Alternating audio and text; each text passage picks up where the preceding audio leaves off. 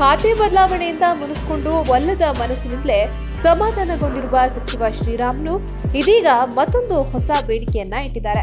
ಸಮಾಜ ಕಲ್ಯಾಣ ಖಾತೆ ಜೊತೆಗೆ ತಮಗೆ ಎರಡ್ ಸಾವಿರದ ಹದಿನೆಂಟರ ವಿಧಾನಸಭೆ ಚುನಾವಣೆಗೂ ಮುನ್ನ ಪಕ್ಷದ ವರಿಷ್ಠರು ನೀಡಿದ ಆಶ್ವಾಸನೆಯಂತೆ ಉಪಮುಖ್ಯಮಂತ್ರಿ ಸ್ಥಾನವನ್ನ ನೀಡಲೇಬೇಕು ಅಂತ ಪಟ್ಟು ಹಿಡಿದಿದ್ದಾರೆ.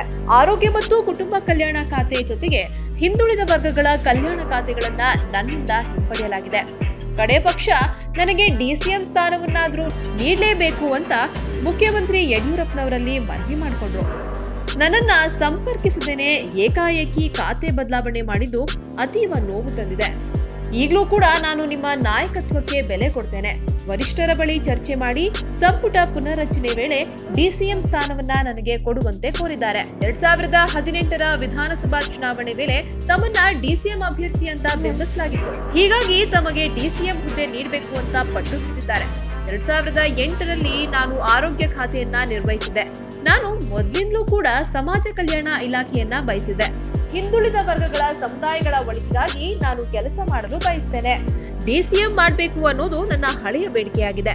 ಸಮಾಜ ಕಲ್ಯಾಣ ಖಾತೆ ಜೊತೆಗೆ ಡಿಸಿಎಂ ಹುದ್ದೆ ನಿಭಾಯಿಸುವ ಸಾಮರ್ಥ್ಯ ನನಗಿದೆ. ನನಗೆ ಅನುಭವವಿದೆ. ಜನರ ಬೇಡಿಕೆಯನ್ನ ಈಡೇರಿಸುವುದು ಪಕ್ಷದ ಜವಾಬ್ದಾರಿಯಾಗಿದೆ ಅಂತ ಸಿಎಂ ಮುಂದೆ ಅಸಮಾಧಾನವನ್ನ ತೋಡ್ಕೊಂಡಿದ್ದಾರೆ ಅಂತ ಸಿಎಂ ಕಚೇರಿಯ ಮೂಲಗಳು ತಿಳಿಸಿವೆ. ಶ್ರೀರಾಮುಲು ಅವರು ವಾಲ್ಮೀಕಿ ಸಮುದಾಯದ ಪ್ರಮುಖ ನಾಯಕರಾಗಿದ್ದು, ವಾಲ್ಮೀಕಿ ಸಮುದಾಯದ ಸಂಖ್ಯೆ ಹೆಚ್ಚಿದೆ. ರಾಜ್ಯದಲ್ಲಿರುವ ವಾಲ್ಮೀಕಿ ಸಮುದಾಯದ ಅರವತ್ತು ಲಕ್ಷ ಮಂದಿ ತಮ್ಮನ್ನ ಡಿಸಿಎಂ ಮಾಡಬೇಕು ಅಂತ ಬಯಸಿದ್ದಾರೆ. ಅಲ್ಲದೆ, ಸಮಾಜ ಕಲ್ಯಾಣ ಇಲಾಖೆ ಸಚಿವ ಬಿ ಶ್ರೀರಾಮುಲು ಅವರ ಬೆಂಬಲಿಗರು ಕೂಡ ಈ ಬಗ್ಗೆ ತಮ್ಮ ಆಕ್ರೋಶವನ್ನ ಹೊರಹಾಕಿದ್ದು, ಖಾತೆ ಬದಲಾವಣೆಯ ವಿಷಯ ಜಿಲ್ಲೆಯ ಪ್ರತಿಪಕ್ಷಗಳಿಗೆ ಆಹಾರವಾಗಿದೆ. ಜೊತೆಗೆ ಶ್ರೀರಾಮುಲು ಅವರಿಗೆ ಹಿಂಬಡ್ತಿಯಾಗಿದೆ ಅನ್ನೋದು ಅಸಮಾಧಾನವನ್ನ ಹೊರಹಾಕಿದ್ದಾರೆ. ಶ್ರೀರಾಮುಲು ಅವರಿಗೆ ಸಮಾಜ ಕಲ್ಯಾಣ ಖಾತೆಯ ಜೊತೆಗೆ ಆರೋಗ್ಯ ಖಾತೆಯನ್ನ ಮರಳಿ ಕೊಡಬೇಕು ಅಂತ ಬೆಂಬಲಿಗರು ರಾಜ್ಯ ಸರ್ಕಾರವನ್ನ ಒತ್ತಾಯಿಸುತ್ತಿದ್ದಾರೆ ಶ್ರೀರಾಮುಲು ಅವರು ಆರೋಗ್ಯ ಇಲಾಖೆಯನ್ನ ಸುಧಾರಿಸಲು ಹಲವು ಕ್ರಮಗಳನ್ನ ಕೈಗೊಂಡಿದ್ರು.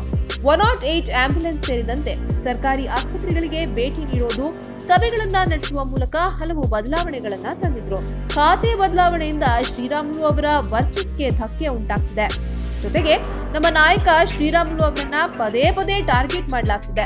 ಡಿಸಿಎಂ ಹುದ್ದೆ ನೀಡೋದಾಗಿ ನೀಡಿದ್ದ ಆಶ್ವಾಸನೆಯನ್ನ ಬಿಜೆಪಿ ಹೈಕಮಾಂಡ್ ಇನ್ನೂ ಈಡೇರಿಸಲಿಲ್ಲ ಅಂತ ಅಸಮಾಧಾನವನ್ನ ಹೊರಹಾಕಿದ್ರು.